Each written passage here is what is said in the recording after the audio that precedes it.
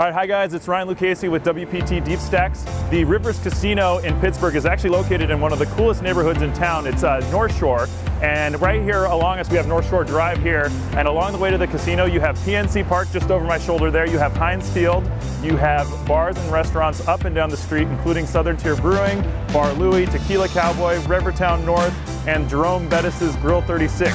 And if you want some other options other than sports bars or restaurants, there's a lot of culture in this neighborhood as well. The Andy Warhol Museum is actually just three blocks down that way. The Carnegie Science Center is right across the street from Rivers Casino. There's also uh, riverboat cruises of the Allegheny and Ohio rivers that leave right around the Golden Triangle area, and that gives you some great views of the iconic Pittsburgh skyline.